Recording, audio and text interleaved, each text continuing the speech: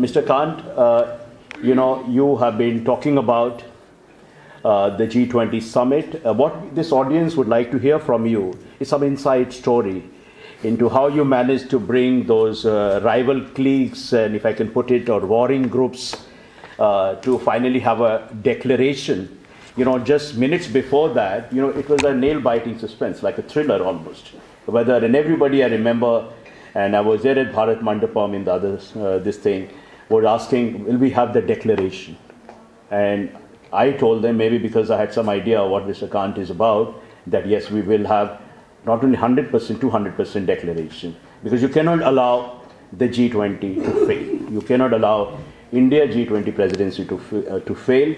So I hand over to you, sir, over to you, uh, you uh, to deliver your keynote address on the subject uh, that is inclusive growth and rise of global south. Chancellor of JNU, Mr. Kanwal Sibal, uh, you know, he's been a, a, a very brilliant foreign secretary of India, and I've greatly admired him earlier when he was ambassador of India in several countries. Uh, Professor Shrikant Kondapalli, the Dean of the School of International Studies, JNU, uh, where I've been fortunate uh, to have studied when uh, from 76 to 78 when it was in the campus downstairs. This new infrastructure had not come up at that time.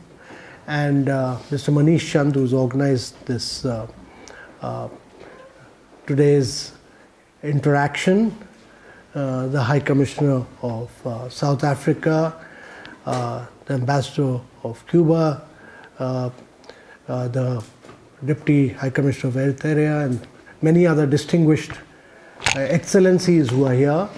Uh, ladies and gentlemen, it's a great uh, pleasure and a privilege for me to be here to speak on India's G20 and the global south.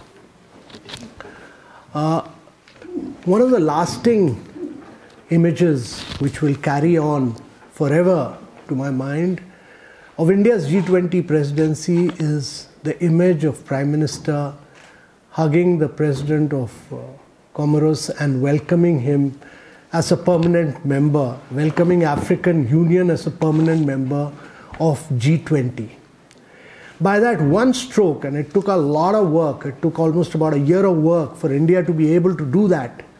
There were several challenges because many other countries wanted ASEAN, many other people wanted other regional groupings, etc., but India stood firm. Uh, the Prime Minister had earlier held a meeting of the Voice of Global South their priorities became our priorities, and uh, uh, the Prime Minister then wrote to all the leaders saying that African Union must become a, a permanent member of India's G20. And with that one stroke, actually, India ensured that G20 became a far more inclusive uh, institution because it now covers almost about uh, 90% of the global population. It now covers almost three fourths of the global trade, and uh, it has expanded into uh, a body which would now cover almost about uh, close to about 80% of the global population. So India has made G20 far more inclusive by doing that. But if there's one document in the history of multilateralism which is a living, breathing uh, document of the Global South, uh, which speaks the voice of the Global South and which uh, expresses the aspirations of the Global South. It is the New Delhi Leaders Declaration.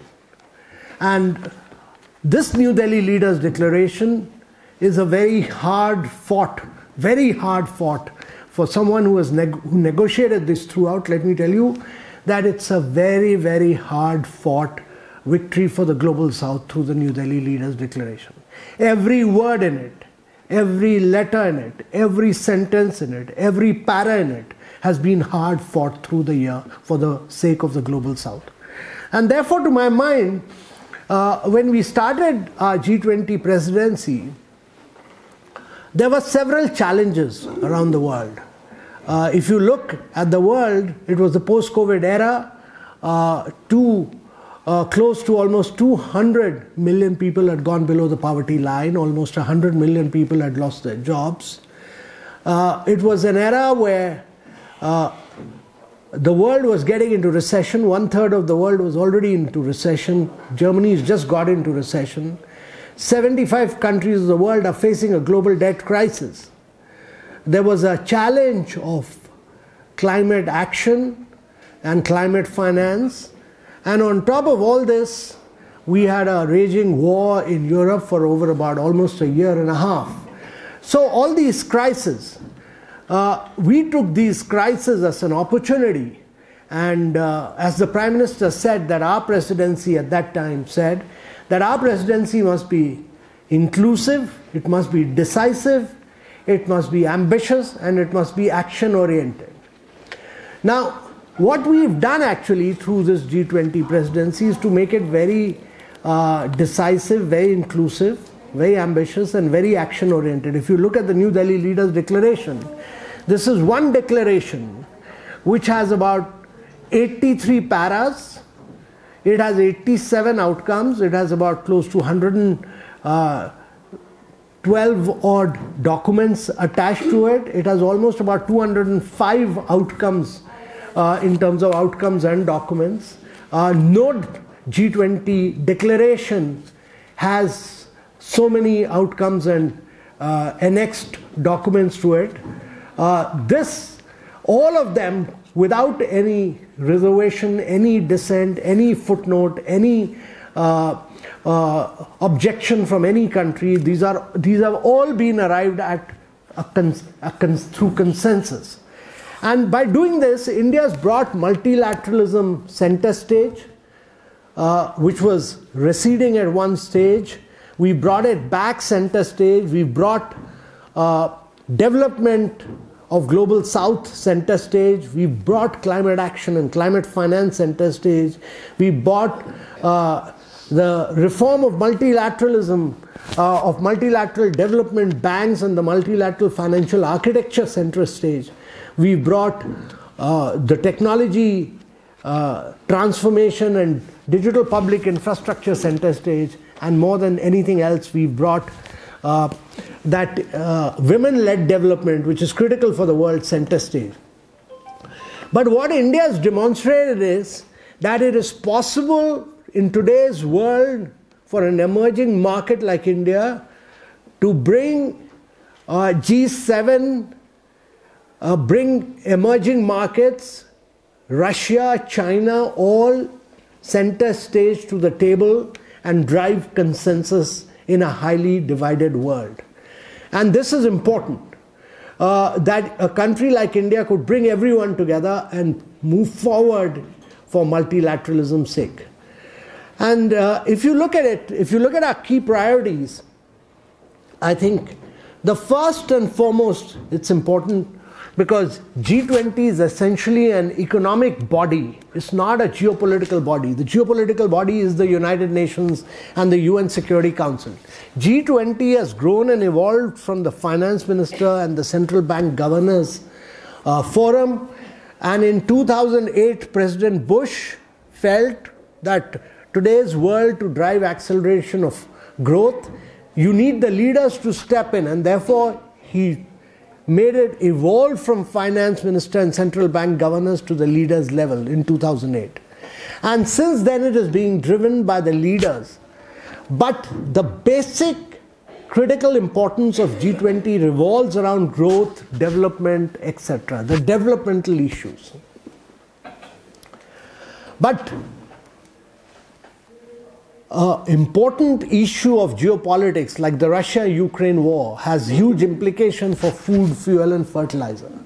And therefore in Indonesia last year it was felt that it is having severe impact on Europe in terms of the economy and therefore geopolitics was discussed and debated and it was also uh, its implication on economics was discussed and therefore geopolitical became center stage last year.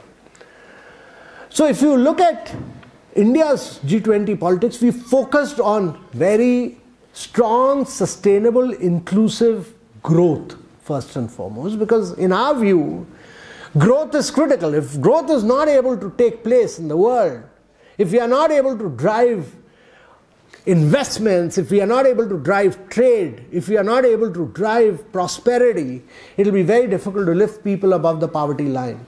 And therefore, we brought strong, sustainable, inclusive growth center stage. And therefore, a lot of discussion has taken place on aspects of growth, particularly liberalization of trade. This was important to do this because uh, if you look at the history of pandemics after pandemic, there's normally a five to six years of protectionism. And protectionism means a slow growth. Trade has lifted people above poverty line. In India itself, trade has lifted people above poverty line. But if trade is there's a protectionism trend taking place across the world, it will be very difficult to push trade and it will be very difficult to lift uh, emerging markets uh, to higher levels of growth trajectory. And uh, therefore, growth became center stage. Secondly, we focused, to my mind, we focused very strongly on the global south. Now, global south is important because today, this particular year, 80% of the growth is coming from the global south. And according to IMF and World Bank, 70% of the growth in the next two decades is going to come from emerging markets. So, if growth is going to come from emerging markets for the next two decades, then you need to realign the multilateral financial institutions and the multilateral development banks to ensure that this growth gets accelerated. These institutions were designed in the post World War II era, the post Bretton Woods period, and therefore they are not designed for climate action. They are not designed for sustainable development goals. They continue to do direct lending rather than do indirect lending. There's no shortage of resources in the world. There's $300 trillion available with private funds almost $150 trillion available with sovereign wealth funds and with pension funds. But the risks of emerging markets are very different from the risks of developed world and therefore multilateral development banks need to bring new instruments of blended finance, of first loss guarantees, of credit enhancement to enable 10x more funding. They do 0.6 cents to a dollar lending. They are able to mobilize only 0.6 cents from the private sector to a dollar that they lend, whereas they should be doing actually $10 to $1 that they lend. Now, that is what India has brought center stage and said that we need to reform this. Secondly, the multilateral financial institution itself, the IMF, is heavily tilted in favor of the developed world. Inflation in America leads to rising of interest rates and that leads to resources flowing from the developing world to the developed world rather than resources flowing from the developed world to the developing world. And therefore, if you look at the last two years, resources have flowed from India to the developed world and not vice versa. That is the flaw of the international financial architecture. And that is what IMF has not been able to manage inflation in other parts of the world, which has impacted emerging markets. And therefore, one of our key priorities has been that we need to reform the multilateral development banks. We constituted a committee headed by Larry Summers of the Harvard and N.K. Singh, which has made a clear roadmap for reforming these institutions. The third key priority for us was that sustainable development goals which are important for 2030, where the target year was 2030. Instead of progressing, we have regressed because of COVID. And therefore, uh, only 12% of the SDGs are on target. We need to accelerate the pace of implementation. So, therefore, we worked on a completely new action plan, which became a part of our G20 leaders' declaration and we said this action plan must be implemented by all the countries that has got accepted and now UN will push for that. Similarly, we push for a green development pact. We said yes, green action is necessary, green finance is necessary because we'll all go extinct. The earth may survive, we'll all go extinct if we are not able to live up to 1.5 degrees centigrade. But if you look at the total carbon space, 90% of it has already been occupied by the developed world. They've left nothing for developing countries. For the global south, nothing is left. And therefore, we said that countries like India, which want to industrialize without carbonization, would need more technology, would need more finances to flow in. And you need new instruments for that to happen. And therefore, we said that the multilateral development institutions must be restructured and reformed with a greater voice and a greater representation for the developing countries. This is what G20 says greater voice and greater representation for the developing countries. And therefore, SDG acceleration is necessary, Green Development Pact is necessary. Green Development Pact talks about uh, tripling of renewable energy, it talks about the biofuel alliance, it talks about the green hydrogen alliance, because even if we are able to do all our electricity as renewable, 80% of our energy is all hard to abate sectors like refinery, fertilizer, steel, cement. All this requires, uh, uh, we use, India uses 200 billion worth of fossil fuel imports to be able to uh, uh push for all this refinery, but this is all imported fossil fuel. Now, our aim is that by 2047 we should actually become an exporter of energy instead of being an importer of energy. But to be able to do that, you, can, you have to use your climatic condition, which is probably the best, and all the global south have the best climatic conditions. They should be able to produce renewables, crack water, produce green hydrogen, and actually replace fossil fuel by green hydrogen.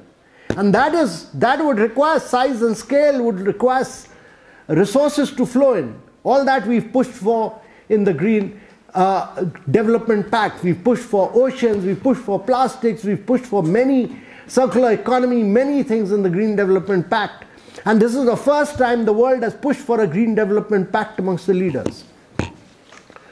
We then pushed for so if you look at our priorities, it was strong, sustainable, inclusive growth, it was accelerated sustainable development goals, it was green development pact, it was reform the multilateral institutions, and then the fifth key priority for us was technological transformation and digital public infrastructure. Because in the midst of COVID, climate action, one thing that has stood out is the digital public infrastructure. Because we've demonstrated, like in many other countries, like Brazil, uh, Kenya, many other countries, digital public infrastructure during the COVID period were able to ensure that we are able to provide direct benefit transfer to citizens. We are able to provide COVID vaccination to citizens, which was ca- cashless and paperless. In India, we've been able to provide digital identity for all our citizens, 1.4 billion. We've been able to provide bank accounts between 2015 to 2017. We opened 500 million bank accounts. We link them up with identity and with mobile number. And today, we use our mobile to do all our fast payments. We do 11x more fast payments than what America and Europe do. We do 4x more than China. So, if you look at the last two decades, most of the technological developments have happened in the western part of the world because of big tech. It's happened because of Microsoft, it's happened because of Facebook, it's happened because of Google, Apple, and in China because of Tencent and Alibaba. But India has demonstrated a different model, and that is the public interest layer of providing digital identity on top of which the private sector innovates and competes. So in India, PhonePe competes with Google Pay, Paytm competes with WhatsApp. There are 40 different apps competing, and actually, they are doing about 11 billion transactions a month. And from transaction, then there are many other startups like LendingKart, Pine Labs, all of them do cashless, paperless lending. And then you have a new set of startups like Zerodha, Groww, Upstox. They are all unicorns which then do uh, wealth creation. They've taken stock market to tier two, tier three uh, rural areas. And today they hold about 40% of the stock market share because they're doing cashless, paperless wealth creation.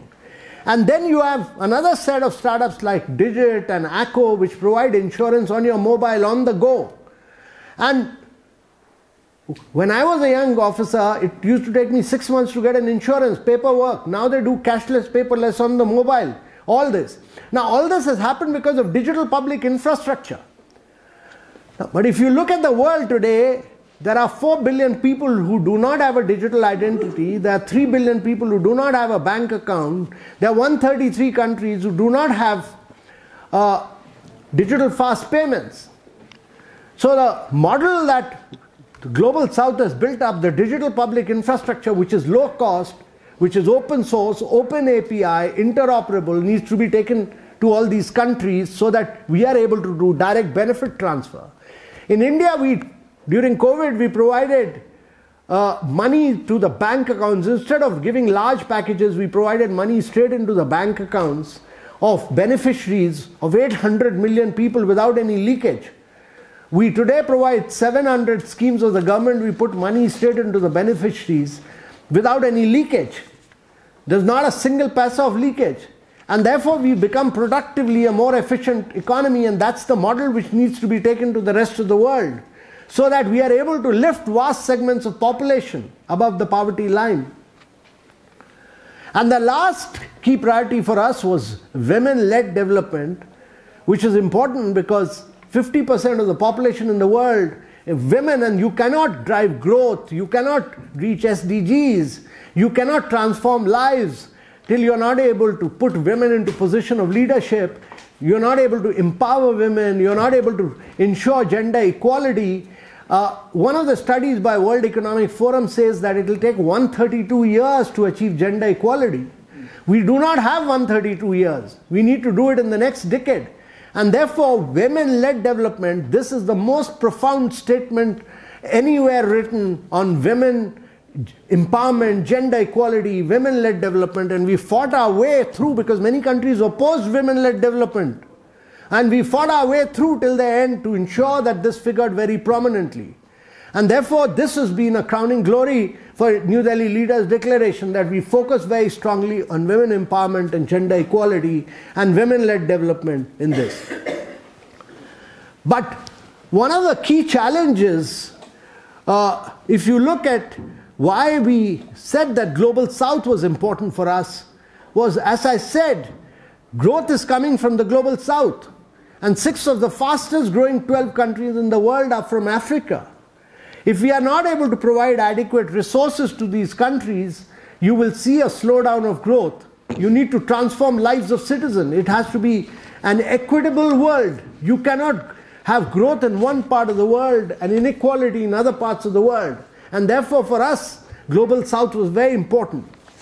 But one of the key challenges which India faced in, during this presidency was to be able to arrive at a final agreement everything hinged around several challenges. One was that 14 uh, ministerials had failed. We could not arrive at a consensus.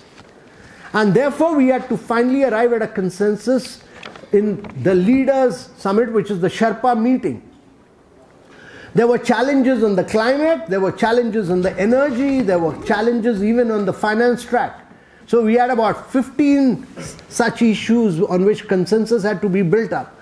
Now we held about close to 32 virtual meetings of Sherpas and we had cleared up 90% of the draft. But the balance 10% was all critical. It was climate, it was energy, it was finance, and then it was the critical issue of the Russia Ukraine crisis. So when we started meeting and the leaders summit was on 9th and 10th and we met on 2nd, we decided not to have the meeting in Delhi. We took the Sherpas about 65 kilometers away in, uh, in the Nuh district of Haryana in Classic, ITC Classic, where, which is about 65, 70 kilometers away. We just locked them up so that we could arrive at a consensus and we started negotiating many of these paras, and we, while we were doing this, we started the Russia Ukraine discussion. And I'll give you a little bit of a challenge since Mr. Manish Chand wanted me to tell you about what, how this uh, agreement was arrived at. So, uh, because the, uh, the, the Russia-Ukraine para which was discussed in Bali was a divided para. It had spoken about some countries felt this, few countries felt this, many countries felt this. It was a split para. Our objective here was that we that para had broken down from the very within 30 days of the Bali summit. Our challenge was to have a consensus para which could stay forward for the future. And therefore, when we started discussing it on second morning, we first faced huge challenges in the sofa talk. But then I dis- I dictated out the basic principles of what should figure in that draft 15 basic principles. Then I asked everybody else to add on to that. USA added, China added, uh, G7 added, emerging markets added, all of them added. Uh, Russia added, China added. There are many extreme views extreme views. But we put it all together, and at the end of it all, we had about close to 40 principles on, around which we worked. We gave them the first draft. Next day morning, we worked overnight, gave them the next draft. And then we ev- every draft kept failing. So we had about 16 drafts which failed. 16 drafts which failed. But after every draft, within one hour of that, we'd come out with an alternative draft we knew the red line of every country. We, had, we did about 300 hours of negotiations. We had about 250 bilateral meetings. So we knew, we knew exactly what were the red lines of every country. Within the G7 also there were differences. So we kept covering the red lines and we kept arriving, we kept pushing back. A great negotiation is one where you push back everybody. You know, everybody is talking of the extreme. You're pushing back G7, you're pushing back Russia, you're pushing back China, you're pushing back everyone so that a common consensus language can be arrived at. And we fought it all out in the bilateral meetings. And then on 8th morning, we gave them the 16th draft in ITC Classic. And after two hours of discussion, we started at about 8.30 in the morning. By 10.30, that had failed. Now, the leaders had already started arriving. The leaders had already started arriving. All through, we had said that nobody could take a photograph. We did not give them a paper document. Nothing was given to them. They could just read because if anything had leaked out, we had not allowed press, we had not allowed New York Times, Washington Post, it, Italian, German channels to come inside that meeting hall or to get inside ITC Classic. So we kept the pace and eighth, morning it failed. And then I said we'll start the meeting in New Delhi in Sushma Swaraj Bhavan at about close to 4.30. So 4.30 we all again met. From 4.30 I knew the challenge was Russia, so 4.30 to 6.30 I had a first discussion with Russia. We started our meeting at 7 and 7 again uh, we discussed several issues. It was like a sofa talk discussion, and I said I'll come back with a draft. I took it to brinkmanship. I took it to about 11:30 in the night. At 11:30, I gave them the 17th draft, and I said, "This is it. This is the draft. I know the red lines of everyone. I've taken care of every single country. This is the final draft. Either you take it or you leave it." And if you, if any leader feels strongly that this is not acceptable to your country, please ask your leader to discuss with my prime minister tomorrow morning. But this is the para I will green tomorrow morning. And I will green it. And if anybody has any objection, please ask your leader. No more, no further discussion at the Sherpa level. And I walked out of that room. I came back to my room, and then the Russian Sherpa uh, walked in with his minister there's one Mr. Pankin, who's the Minister of State for Foreign Affairs. He came to my room and he wanted the word sanctions to be put into that declaration. For two hours, we discussed with him and we had to finally tell him that if you insist on this, we'll make it 19 1, isolate Russia.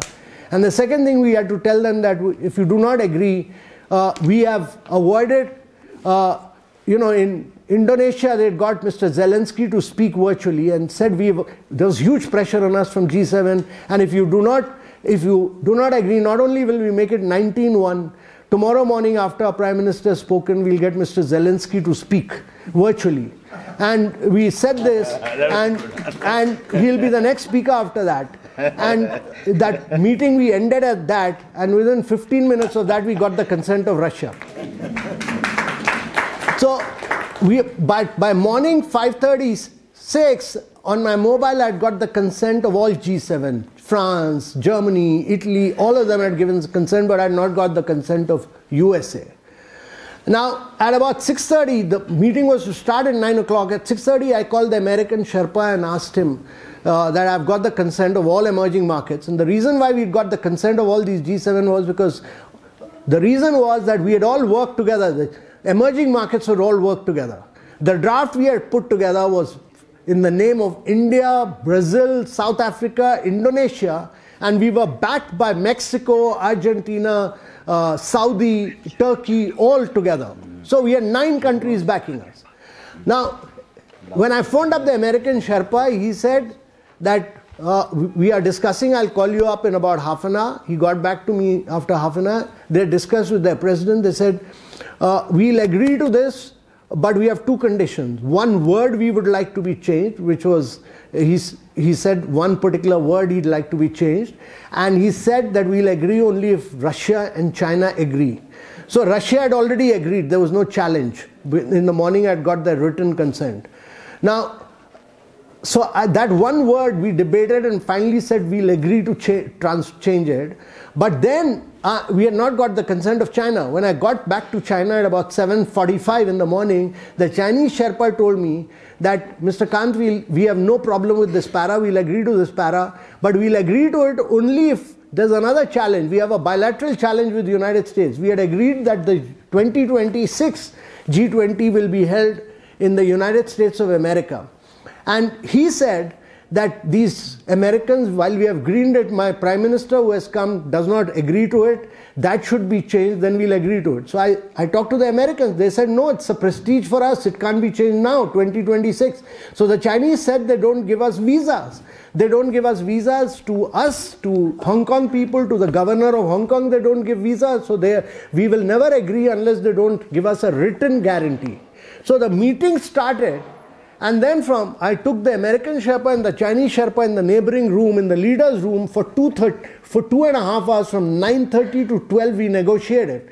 And finally, instead of a guarantee, we got a letter from America that they will issue a visa. They said that we'll ensure that visas are issued to all legitimate, uh, uh, uh, legitimate uh, representatives of China and Hong Kong and all that. And uh, we got them this letter, and that's how we 12:15 we finished it off. And by one o'clock, we got the prime minister to announce that the declaration is through. So this was the backstage negotiation which went on throughout.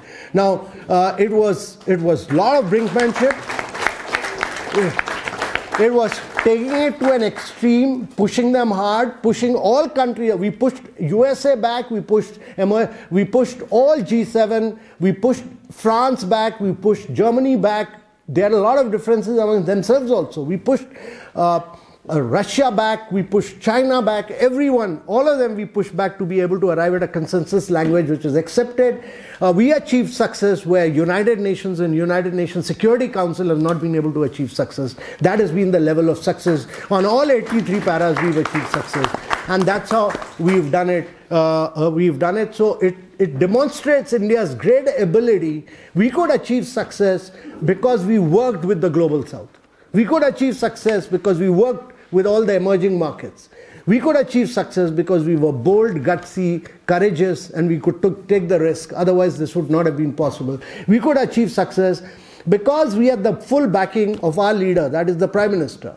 We had full success because his stature, his standing, his clout mattered a lot and therefore we could take the risk and push things hard and get a full consensus on this document. And that's how we achieved a consensus on the new delhi leaders thank you very much